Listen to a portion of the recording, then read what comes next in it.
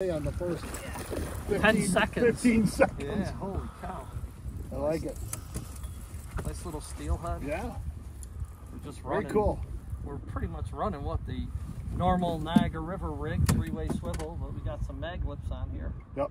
and uh, they've been really, really. Are the mag lips from Luhr-Jensen? The mag lips are from Yakima, so what Yakima. we found over time is Yeah, that nice. the mag lips actually take the current better than the old Kwikfish do. So we've been running a lot of maglips. So anybody who's watching from around the country, we call these steelhead around here. Uh, you'd call them a rainbow trout if you were in the uh, Ozark Mountains. oh, yeah, Ozark Mountains. What is really the difference between a steelhead and a lake trout? A steelhead is an ocean run rainbow trout, or their origins are ocean run. So these fish, originally when they were stocked in the area, were stocked from uh, brood stock out of Washington and Oregon on the west coast. Nice, good start. All We'll right. let them go.